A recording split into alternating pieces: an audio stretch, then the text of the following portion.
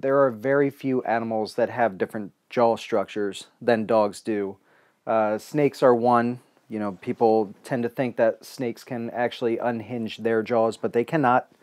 They just have an extra bone and very stretchy ligaments to be able to open their mouths wider at the back to be able to swallow animals whole. Parrots have something called cranial kinesis, which allows their jaw movement to be much different. But the main thing is a dog is a dog. Their jaws are the same. It doesn't matter what type of dog it is.